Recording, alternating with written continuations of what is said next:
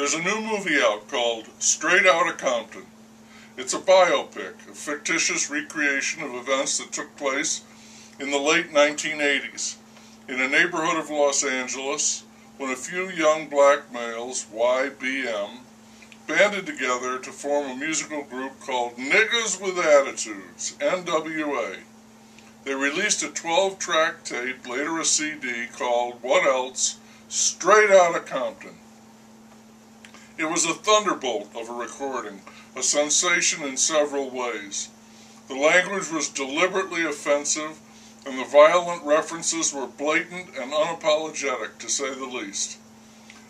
Many, if not all, radio stations refused to play the music, and it is said that the FBI wrote a letter to the group advising them that their lyrics were not in the best interests of the law or officers of that law or their own personal security. It is said that that letter is now the property of the Rock and Roll Museum, preserved like any other sacred text. And that may or may not be true, but it demonstrates that the NWA became legends, while the FBI are just a stiff bunch of stupid shits in suits. The album sold something like 10 million copies. It was more than just a huge hit. It was a blueprint, a guide to an entire way of life.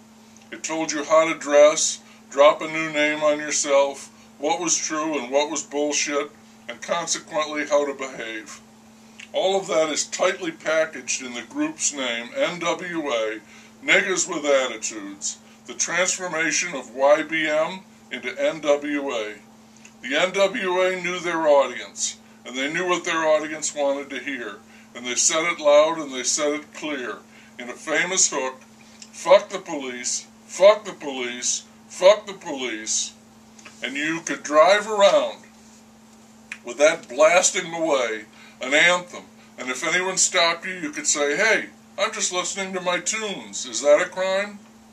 The first three songs on the album were the major lightning strike.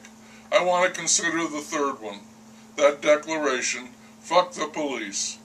It's performed as a courtroom trial, the defendants being this time around in an artistic reversal, the police. I don't have the slightest doubt that in the late 1980s, the police in Compton and Los Angeles in general were having the time of their lives with added relish with young black males, stopping them for no reason other than why dogs lick themselves because they can telling them to shut the fuck up, sit down on that curb while we search your car, and if you so much as fart, you stupid motherfucker, I'll blow your fucking head off. That kind of thing. Day after day, night after night. In the song, the YBM become NWA, and they fight back. They don't take none of that shit no more, because if you take that gun and badge away from that asshole, what have you got? A redneck, white bread, chicken shit motherfucker and they find him guilty as charged. This is in the tradition and spirit of Emerson, who wrote in Self Reliance I am ashamed to think how easily we capitulate to badges and names, to large societies and dead institutions. The NWA is done with that capitulation, motherfucker. I am not one of those who thinks music makes people kill themselves or shoot up their school. But I do think that this song, Fuck the Police, is an exact prescription for what is happening in these 21st century times. Over and over. Police stopping a YBM, the YBM resisting this violation of his person, of his rights, sometimes trying to take the badge and the weapon, and the YBM getting shot. Because the YBM is now an NWA who doesn't have to take that shit. And in the real world, on the streets, that doesn't mean you're hip or rolling over the cops. Much more like that means you're participating in your own destruction. NWA's music was called gangster rap. Someone called them studio gangsters. One of them, who called himself Easy E, didn't have it so easy. He died of AIDS. Two others were O'Shea Jackson, BKA Ice Cube, and Andre Young, Dr. Dre. They did, in fact, get straight out of Compton.